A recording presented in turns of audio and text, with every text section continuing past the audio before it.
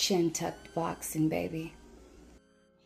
Where we at now, boxing man is we're in the heavyweight division, man. Our old three kings, they all took yep. losses. You know what I'm saying? So it's a new landscape. I want to see what happens.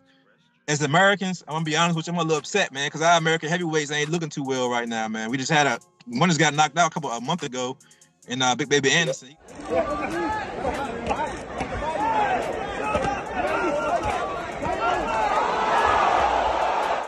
Now Wilder been put to sleep. So now, as American heavy, as an American man, we don't have no heavyweight contenders right now to even mention right now, which is kind of sad. But we had one back in the day, man. We had one. We had a champion, man, who had the WBC title for ten defenses, man. That we wanted for for a long time to see them fight the UK champion when they were both undefeated, both knockout artists, both had all the accolades and whatever else you want to name both was knockout punches, and I feel like we missed out on an all-time great fight, man. Yep. Do you remember how you felt back in the day when Wilder was on the tear and Joshua was on the tear? Do you remember the excitement you felt? You know what I'm saying? Looking forward to that fight, man, and how disappointed you kept being over and over again when we kept getting other opponents and other yeah, excuses. Of course. Yes, of course. I, I I was looking forward to the fight. I always thought that even though they kept pushing the fight, back and come up with excuses why they couldn't make the fight from you know from both sides. I'm not gonna get into all that who fought it was. always felt that at some point they would come to they would come to terms, you know, and be able to make that fight before we got to this point. So mm. it's kind of kind of bittersweet because we never got to see a great fight. But me as a boxing fan, I still want to see it because I still think those two styles make for a exciting fight. You ain't never told no lie, real nigga say word. I'm still interested in the fight, but we missed out on a big fight because I'm gonna call it just to sum it up real quick. They didn't take the cash out, and what I mean by that, anybody that plays on FanDuel, I'm gonna tell you this weekend, I put in a twenty dollar bet, you know, and I see it's for three hundred dollars. I want the three hundred dollars. The bet is looking good the first half. I'm already got the money. I'm counting what I want to do with the money, and I get a cash out for eighty nine dollars. And I say, eh, eighty nine dollars, I can win three. Yeah, got money, money. Yeah, I'm a, I'm a holdout, and everything with the shit cool. And that's kind of the same thing with Joshua and Wilder. You know, you trying to hold out and build it up and build it up, and they could have they should have took the cash out instead of just trying to maximize it to the to the top. They, they, they went too long and it was too much of a risk.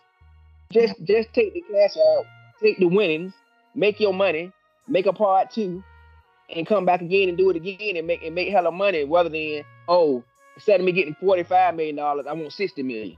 Mm-hmm. But it, it's forty five million dollars. You know what I mean? And it, it's legacy. Y'all both missed out on that opportunity. I think Eddie Hearns was in the way of it, man. That's why I blame Eddie Hearns for it because he saw in my opinion, he saw that Wilder was still dangerous. I think they was playing the waiting game. I think they was waiting for Wilder to slow down, and they they like you said they kicked the can down the road too far to the point where Wilder started losing, and then Joshua was also starting losing when, they, when he lost to Andy Ruiz.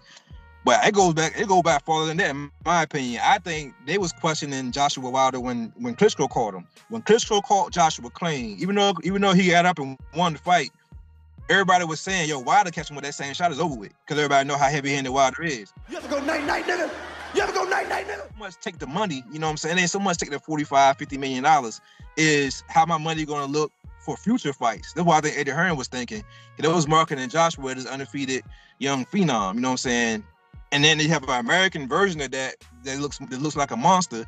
You know, you don't want to lose to the American heavyweight and give him the juice, quote unquote. So they didn't want to give Americans the juice in my opinion, by him being the new undisputed, undefeated champion of the world. That's what was on the line. It wasn't so much the, the, the it wasn't so much the money. I think they knew what was on the line. It was both undefeated records on the line. It was both, you know, all the titles on the line. Whoever was going to win that fight was going to be undisputed of the world and would have been the new cash cow in the heavyweight division. And I don't think Eddie Hearn wanted Joshua to be, you know, the the, the loser of that fight, even though they could have had backup fights, in my opinion.